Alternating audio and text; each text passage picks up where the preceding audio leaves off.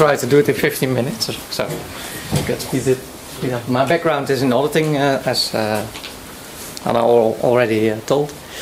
Um, I worked five years for a public uh, audit company and about 12 years in uh, private, of course, all the way around. Five years in private, 12 years in public. And now, uh, last year, I went to the tax office as a strategic advisor.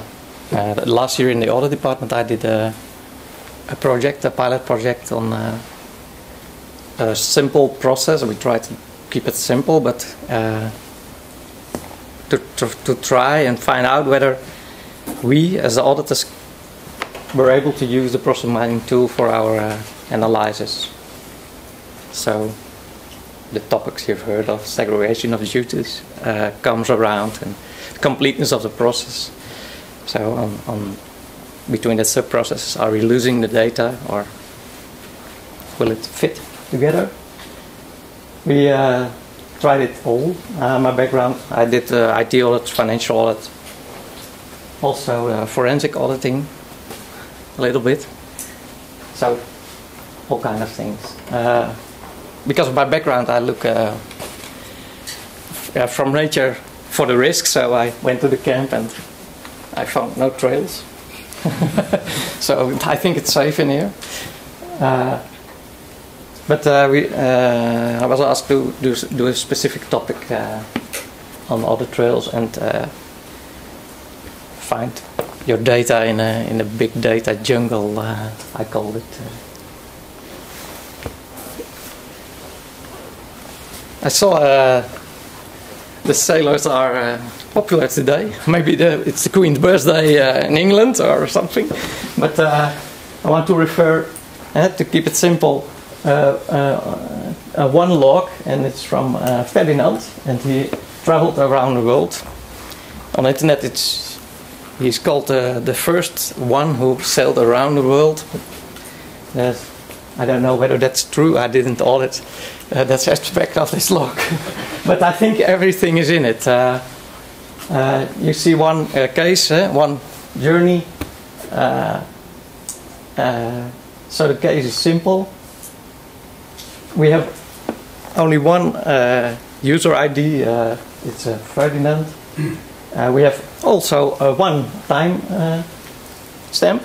That's the time he died dur- during this journey, so he didn't finish this journey. So, how can he be called the first one to end this journey? Uh, now let's see uh, uh, something about the attributes. He left with uh, 55 uh, crew members on his boat, the Trinidad, and he was with five boats, but only one boat finished, and four men of his crew finished this trip. So, uh, what we wanted to do in our first expedition was to discover the whole world. Uh, and uh, Anne uh, pushed me to choose my goal and to uh, to be focused, but I, I didn't want it. I, didn't, I wanted to explore the whole world. And that's uh, quite difficult, I can tell you. Uh, from one log to uh, now thousands, millions billions of logs within the tax administration. We have a lot of old systems functioning from, I think, uh, 60s already, uh, COBOL, uh, kits. Uh, yeah, we have everything, I think. Uh, when you're talking about old techniques, we are uh, demolishing it out, uh, and we call it demolishing in architecture. So uh, we will get rid of it in a few years. But I think most of the organization that are older, a bit older, uh, has this problem. Uh, we have uh, mostly we have systems on uh, on the VAT, uh, value added tax, income tax, corporate tax. Uh, no, every every tax you can uh, think about it's in one system. Uh, there's uh, they try to make a system that could handle a lot of uh, taxes, but it's still one tax, one system. And beside that, there we have the problem that uh, when you look at the process, you have to go through all different kind of systems. First, you come in and it, it uh, maybe in, a modern way on the web. Uh, we have a web systems also, and filling in your electronic uh, form uh, declaration. Uh, then you go to the client system, you pass the tax system, then you go to the maybe payment system. So all the steps you make, you, you go through the different systems. So that, that's our challenge to, to find uh, the, the trails through these systems. Now, most of these organizations that have these old kind of uh, IT architectures have these complexity reduction programs, uh, legacy integration projects, data quality projects. No, we have them all. I don't go into detail. What I want to pinpoint and focus on this. 10 minutes now? Uh, is the creation of a log and uh, I will focus on uh, maybe a, a, wrong route and yeah I think it's good to look at the bloopers uh, that we made so you can learn from it. So I will be uh, honest to you. But first I want to look at, at, at how to cultivate this jungle because we are uh, also building on our data uh, quality for this in this moment. Uh, we are working on an enterprise data warehouse technique, uh, filling this data warehouse with all the data we have. But in that process, we yeah we have to make the steps, uh, and we did the steps also in our uh, first pilot project from source data, uh, looking at the tables, which tables uh, do you want to use, uh, the data selection, what kind of data out of the tables. And then an important one is the data cleaning. I don't know, is anyone has experience with, with data cleaning? Or maybe low data quality, what most frequent problems you, you cope with? You, you mentioned examples. Missing values. Yeah, wrong values, incorrect. Uh, mostly all of them are in it, and then you can choose uh, delete them, uh, left left them behind, or replace them if you are sure you can replace them with valid uh, values. But what you can also do is uh, looking eh, when we saw already uh, the pictures you can uh, uh, use truncation to get rid of the outliers. And you can do that as Anne will show it to us, I hope in the, in the rodeo in a few minutes. I don't know where uh, the bull is, but there will be a rodeo. Uh, you can do it in the filtering of, of, of the tooling. Eh? It's a disco now, or a prom, or, but you can also do it in the uh, data already, so the import file. And uh, in my uh, experience, it's good to think about that choice because the filtering in, in the tooling is also, uh, yeah, sometimes it's difficult, uh, uh, and it's better to find out this filtering before you put your data into the analyze, analysis, and that's what in it also a transformation of data, the analytics, I'm interested in all kind of analytics. Uh, I made a step from auditing to uh, the business uh, strategy advisory, and um, we are now doing some lean projects, and I'm very interested in uh, the value stream mapping from the lean uh, concept. It can be coupled, I think. I talked uh, about it with Anne already. And I'm very interested, so if there's anyone with experience in uh, value stream mapping, then please contact me. but what I wanted to, to, to, pinpoint is and to mention is think about the filtering before you start analyzing the data. Now this uh, process we uh, we were examining. Um, it's good to think about what process steps do you take into account in, uh, with your analysis. Uh, as I told you, we took all of them. all activities were uh, taken into the and analyzing the process. Uh, we looked whether the data was available for us. Uh, sometimes it's difficult, but most of the data, when you're an auditor, auditor, you have uh, rules that you may see all the data because of your uh, function in the organization. So the, that it take, took some time because yeah, it's uh, critical privacy uh, also important. So what the question came, what do you want to do with all these data? The only data we didn't uh, receive was uh, the prints from in the end of the process. We, we wanted to see the, the, the printing on the paper to compare them with uh, with the file we sent to the printer, but that was a problem. So it was too big also, uh, so we left that behind. And then uh, you have to choose. We have the main process is the green one, and there are also always sub processes uh, for checking bank accounts or clients' uh, data from the main process. Uh. There are some checking process uh, down. Uh, yeah, we took it into account also, as it was possible. If it was possible, and in the end, of course, uh, the data of the payments. Uh, in this process, we have to think about uh, how to scope. I told you already you can choose your process steps and uh, the time you're examining. And yeah, we we did something wrong. I showed it in the in the further on in the sheets and slides. What cases to follow? Are you interested in some particular cases or generally examining the process as a whole. Uh, snapshots queues, you have to be uh, aware of uh, queues in the process because they disturb your uh, process flow. If they take longer than a year, you select a year period.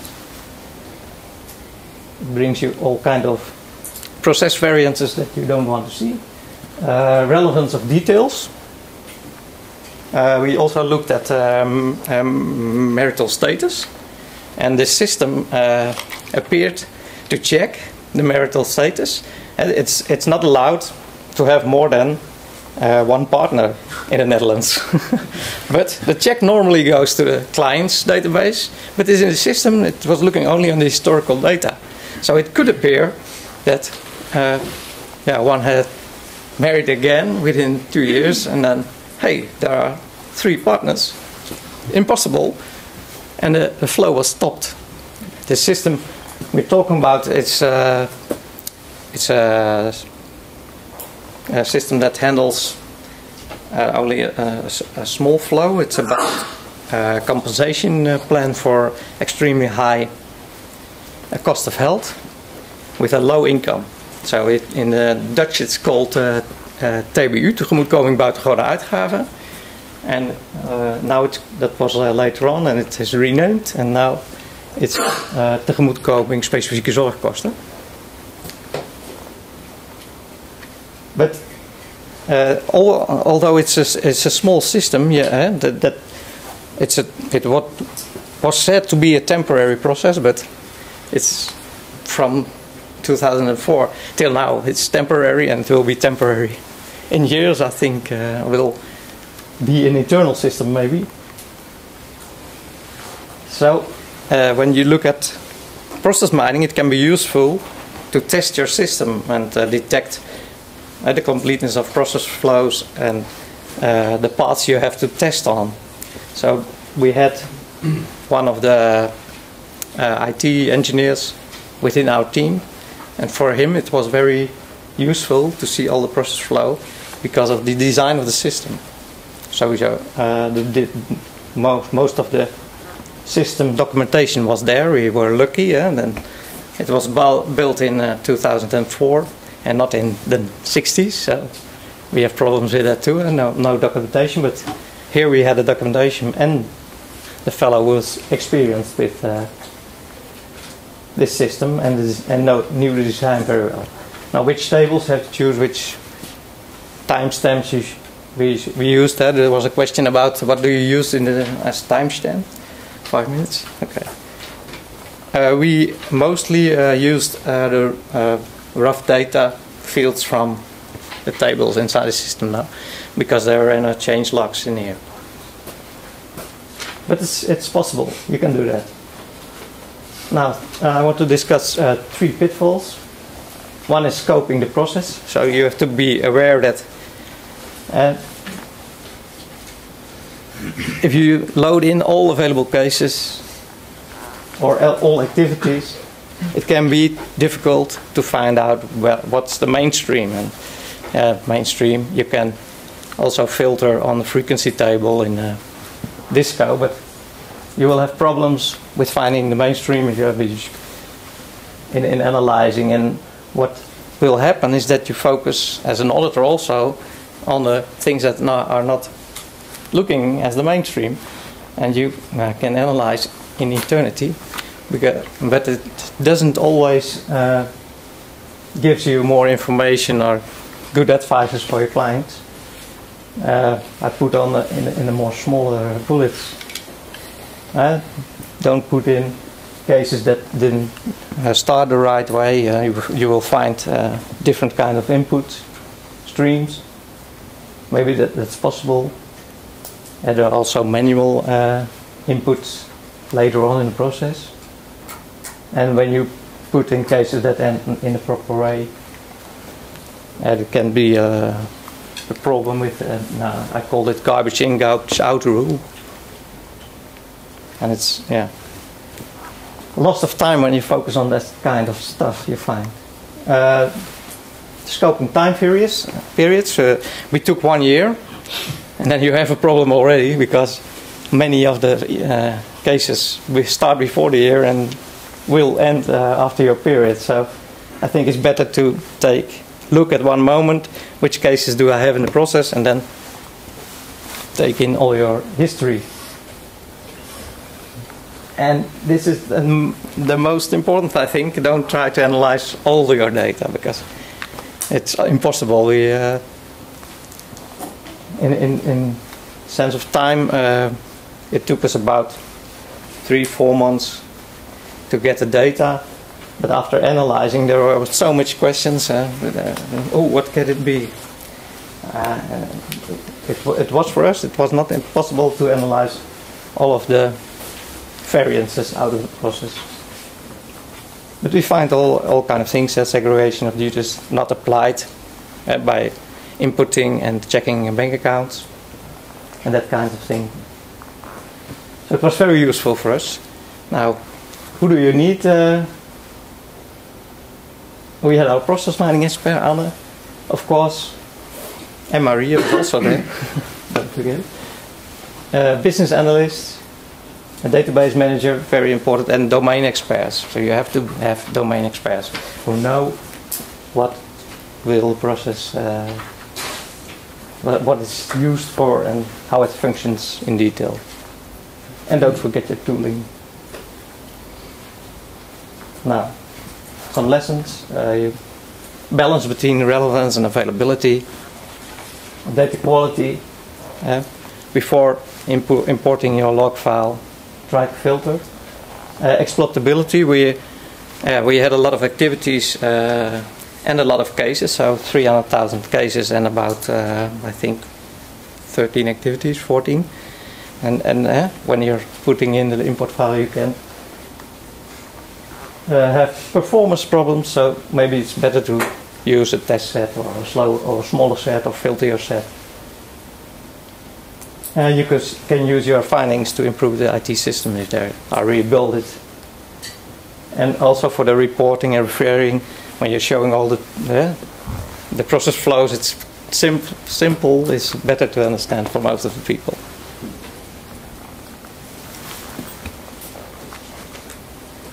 Now, I hope to see you at the fire uh, chat, mm -hmm. fireside chat, or maybe there are questions. Thank you.